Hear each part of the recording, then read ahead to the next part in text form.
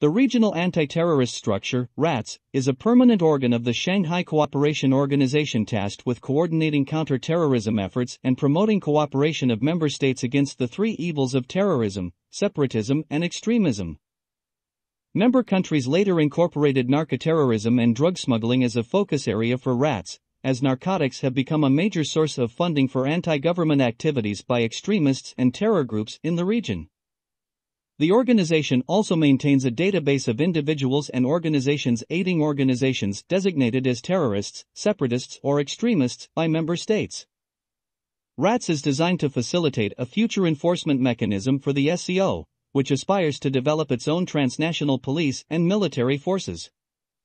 RATS has been described by experts as SCO's most important and best functioning component structure to date.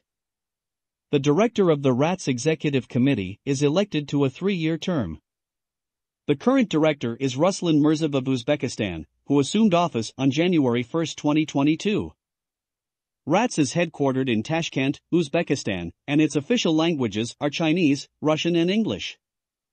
RATS was established in during a meeting of the Council of Heads of SCO member states on June 7, 2002, in St. Petersburg, though the organization did not become active until 2004. It is governed in accordance with the SCO Charter, the Shanghai Convention on Combating Terrorism, Separatism and Extremism, the agreement among the SCO member states on the regional anti-terrorist structure, as well as the documents and decisions adopted in the framework of the SCO. To varying extents, RATS has cooperation agreements with the UN, Interpol, the Commonwealth of the Independent States, CIS, the Collective Security Treaty Organization, CSTO, the Association of Southeast Asian Nations, ASEAN, and the Economic Cooperation Organization, ECO. Member states have flexibility to appoint whomever they would like to represent their interests with RATS.